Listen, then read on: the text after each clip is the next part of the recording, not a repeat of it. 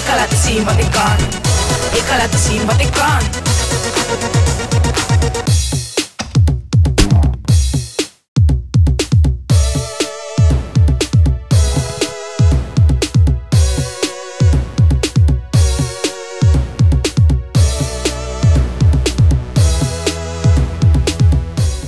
Hallo, ik ben Karen van der Haar en ik ga jullie laten zien wat ik kan.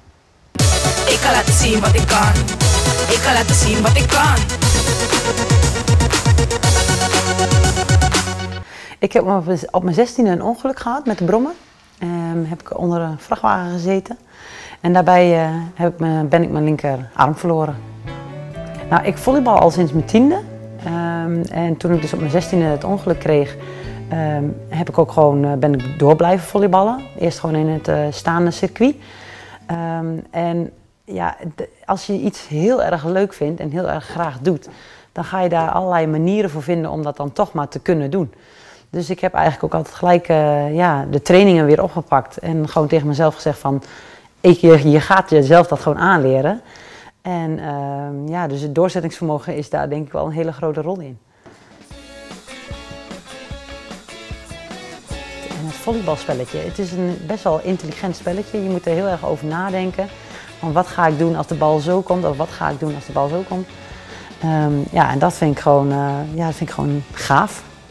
Ehm, ja, en als het kwartje net de andere kant op valt, dan win je. En als hij linksom valt, dan verlies je. Ja, dat is sport. En dat is, maar dat is ook het leven inderdaad. Hè. Eh, in het leven kom je ook, eh, heb je ook tegenslagen. En dan moet je dan ook weer gewoon van omhoog krabbelen en weer doorgaan. Dus, eh, natuurlijk zijn er ook wel dingen die ik niet kan. Ehm, maar over het algemeen vind ik eigenlijk voor alles wel een oplossing. Ja, dit is de foto van na de finale eh, van het EK 2011. En eh, daar zijn wij tweede geworden, hebben we zilver gewonnen. En ik eh, ben een beetje de aanjager van het team.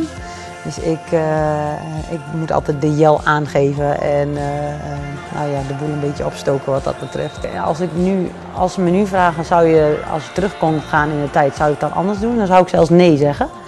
Ehm, want ten eerste mis ik hem dus eigenlijk niet, want ik kan dus eigenlijk alles nog wat ik daarvoor deed en zelfs nog meer. Want ja, als ik mijn arm niet was verloren, dan had ik nu ook niet in het Nederlands zitvolleybalteam gezeten. Want dan had ik geen beperking gehad. Ja, en dat heeft je dan toch alweer zoveel leuke dingen gebracht en zoveel ja, nieuwe ervaringen.